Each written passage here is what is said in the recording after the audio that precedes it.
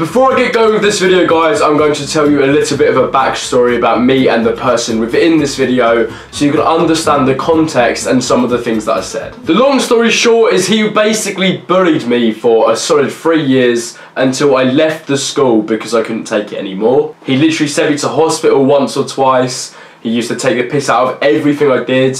He was a massive homophobe and yada yada. I'm not gay, but he literally made me question my own sexuality the amount of times that he told me that I was. Literally, he made my life a living hell, and I was so happy when I left that school. Bearing that in mind, I received a message a couple of days ago saying this. Yo, is this Mike? And at the time I did not know who this was. I thought my number had been leaked, so I was very, very confused and like wary about who was messaging me. So I said, uh, who's this? You know, it's standard message. And he replies with, it's Mike, we used to go to school together, remember? And I said, oh, oh yeah, shit, I fucking remember you. And then he sent this message. Mate, I'm so sorry about what we used to do to you back in the day. Oh, I feel so bad for it, G. I guess it must have been the drugs that were making me do this shit to you Are we cool now, mate? Just before he sent that message, I was listening to this song called Cold Water over the radio. And I thought, do you know what? I'm gonna prank this bastard with song lyrics. Everybody gets high sometimes, you know. Yeah, man, I feel you. It's great to see you becoming so big and shit, man. Like, I'm glad you understand where I'm coming from. Do you smoke weed then, bro? What else can we do when we're feeling low?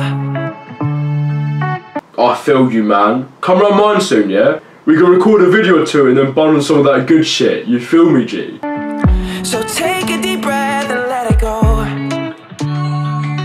LMAO. Laughing my ass off for those of you people that do not understand that. You creased me right up, Michael. We always knew you'd be a funny guy. But yeah, that is how you smoke weed, innit, lol.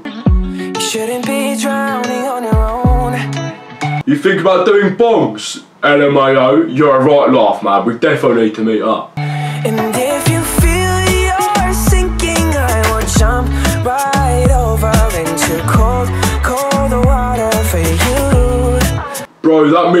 You know, getting like a minor celebrity like you being there for me, man. Like, I should have been there for you back in school, but I think me bullying you helped you become who you are, so I, I guess you kind of owe me. no, I don't. I owe you fuck all. And although time may take us into different places, I will still be patient with you. And I hope you know No, what, brother? I Won't let go of what? Like what I did back in the day?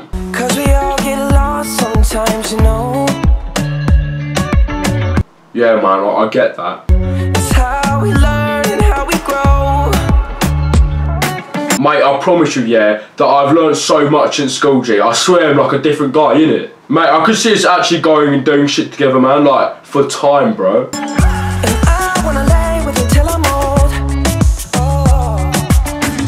Nah, bruv, none of that gay faggot shit, you freak. I'm not a fucking homo, yeah? You shouldn't be fighting on your own. Bruv, I'm not gay, allow it, you weirdo. Mate, I thought you were chill, yeah. I was literally gonna ask if you wanted to come out with us lads later, but you're a fucking faggot, man. I'm glad your dad passed away. He probably overdosed because he was ashamed of his faggot son. Yeah, yeah, now, now, now you can see why, um, I don't like this person. like that, he's a different person, it's mad.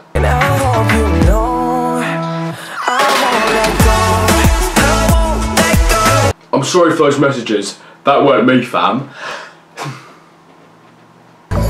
From a rocking boat. Question mark. I just wanna stay afloat. Is this like one of them euphemisms? I'm all alone.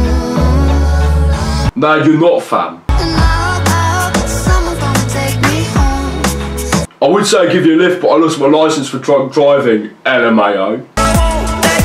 Let go of what? Bruv, I'm not holding anything. What are you on? Oi, can you search up Justin Bieber cold water for me, man? Yeah, oh, okay. Why? Uh, you were saying. You really got a faggot if you listen to this shit, LMAO. Fucking hell. It's called a lyric prank, mate. Do you want to say hello to YouTube? You're a fucking little cunt. You know that? I swear to God, if me and Mike's ever see you in fucking public again, I'm gonna fucking slit your dumb ass wide open. One, that sounded a little gay. Are you sure that you're definitely not? Two, it's not exactly smart to threaten me in a YouTube video, is it? I don't give a fuck, cuz. This won't be a YouTube video, because you'll be in the same position as your fucking dad before you could upload it. Just you fucking wait. Story, mate. Uh, have fun getting over with your life, uh, you gollum looking twat. Fuck you, your videos are shit anyway. So yeah, um, that happened.